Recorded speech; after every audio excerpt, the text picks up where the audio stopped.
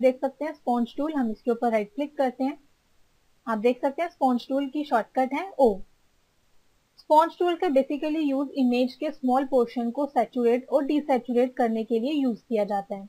वैसे तो हमारे पास फोटोशॉप में काफ़ी सारे ऑप्शंस होते हैं, जिनकी हेल्प से हम अपनी इमेज को सैचुरेट और डिसैचुरेट कर सकते हैं। लाइक like अगर हम यहाँ पर इमेज मेन्यू को ओपन करते हैं देन यहाँ से हम एडजस्टमेंट में जाते हैं तो यहाँ पर हमें ह्यू सेचुरेशन का ऑप्शन मिलता है। जहाँ से हम अपनी होल इमेज को अपने अकॉर्डिंग यहाँ से इन स्लाइडर्स की हेल्प से सेचुरेट कर सकते हैं। जैसा कि अभी आप यहाँ पर देख रहे हैं, हम इसे यहाँ पर एक बार कैंसिल करते हैं।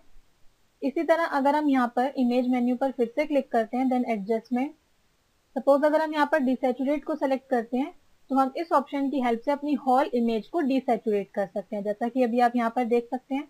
लेकिन स्पॉन्ज टूल की हेल्प से हम अपनी इमेज के किसी भी स्मॉल पोर्शन को बहुत इजीली और क्विकली सेचुरेट और डिसेचुरेट कर सकते हैं। तो अभी हम यहाँ पर ऑल्ट कंट्रोल जेड प्रेस करते हैं अंडू करने के लिए। अभी आप यहाँ पर देख सकते हैं हमारे पास यहाँ पर फोर कलर सेट्स हैं जिन्हें हम सेचुरेट और डिसेचुरेट करेंगे। इसी के साथ आप यहाँ पर ऑप्शन बार पर देखेंगे कि मोड में हमें यहाँ पर एक ड्रॉप डाउन बटन मिलेगा। हम इस पर क्लिक करते हैं। जहाँ पर हमें दो ऑप्शंस मिलते हैं डिसेचुरेट और सेचुरेट सपोज़ हम यहाँ से पहले सेलेक्ट करेंगे डिसेचुरेट इसी तरह आप यहाँ पर देख सकते हैं हमें फ्लो भी दिया है। हम इस बटन पर क्लिक करते हैं और फ्लो की वैल्यू को इंक्रीज कर देते हैं। सपोज़ हम यहाँ पर इसको कर देते हैं फिफ्टी परसेंट हम यहाँ पर मैनुअली भी एंटर कर सकते हैं। तो अब हम यहाँ पर एक बार अपनी इमेज को जूम इन करते हैं, जिसके लिए हम कीबोर्ड से कंट्रोल के साथ प्लस की को प्रेस करेंगे। तो अब हम यहाँ पर जो येलो कलर का जो कलर सेट है, हम उसके ऊपर सिंपली लेफ़्ट माउस क्लिक को प्रेस करके रखेंगे और धीरे धीरे ड्रैग करेंगे। हम यहाँ पर एक बार अपने ब्रश के साइज़ को इंक्रीज कर लेते हैं। और अब हम इसको ड्रैग करते हैं। तो अब आप यहाँ पर देख सकते हैं कि ये इस कलर सेट को मीन्स इस कलर सेट के ऊपर से सेचुरेशन को रिमूव करता जा रहा है। आप देख सकते हैं यहाँ पर। इसी तरह अगर हम यहाँ पर मोड में जाते हैं और इस ड्रॉप डाउन बटन पर क्लिक करते हैं और अब हम यहाँ से सिलेक्ट करते हैं सेचुरेट तो अब आप यहाँ पर देख सकते हैं हमने मोड को सेचुरेट में चेंज कर दिया है और साथ ही हम यहाँ पर फ्लो को भी चेंज करते हैं। हम इस बटन पर क्लिक करेंगे और यहाँ से फ्लो के अमाउंट को भी रिड्यूस कर देते हैं।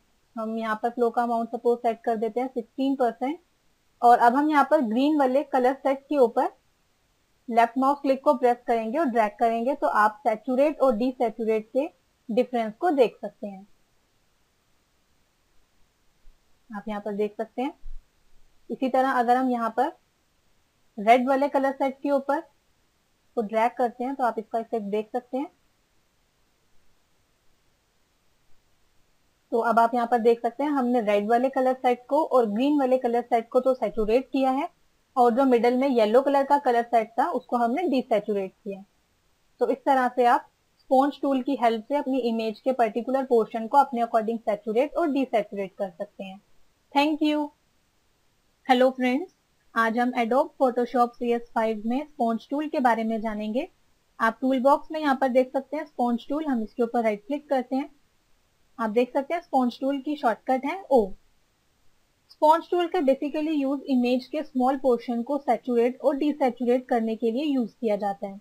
वैसे तो हमारे पास फोटोशॉप में काफ़ी सारे ऑप्शन